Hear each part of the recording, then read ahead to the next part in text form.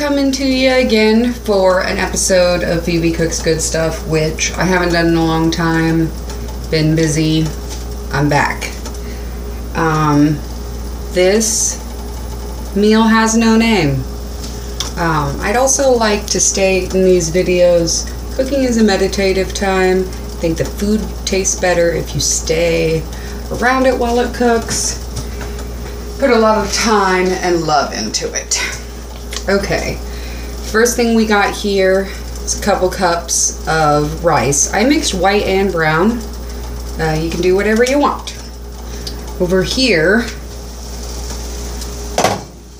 I have stir fry vegetables, which it's actually with a little bit of noodle, but you can get a bag of stir fry vegetables. I recommend that you always have them in your pantry.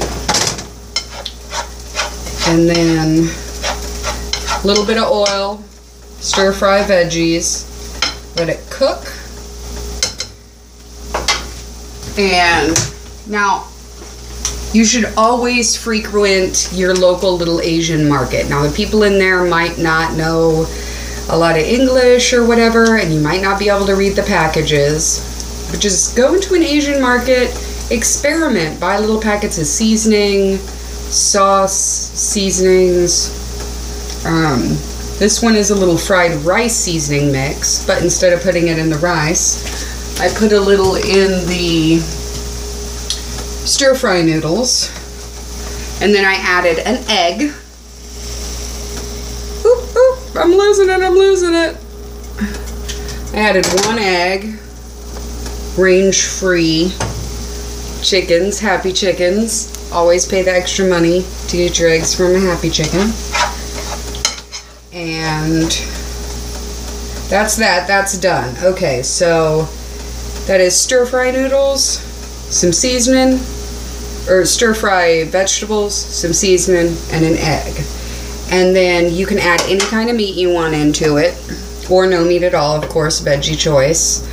I put inside mine, I put a a small can of tuna, which I rinsed out to recycle. You should always recycle. And so it's gonna be tuna is my meat, rice. Um, now, since this already had noodles in it, I didn't realize that when I started the rice. So you want to keep it healthy. So what I'm gonna do is instead of putting the vegetable mix, vet, meat and vegetable mixture over rice, which I would normally do, I'm just gonna eat the main dish here and then once my rice starts the best way to cook rice put it in there according to the box. Instant rice is what i always make.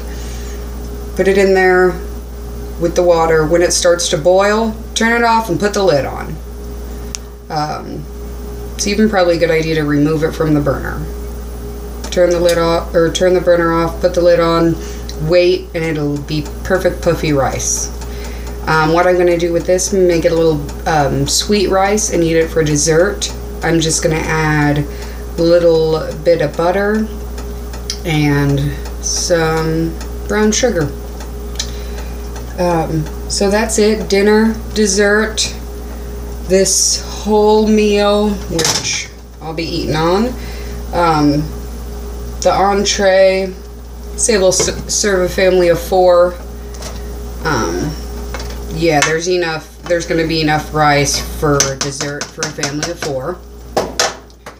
And it was all, all of this, uh, under $10, delicious. That's Phoebe Cooks Good Stuff. And all love to you. I hope you're having a great day.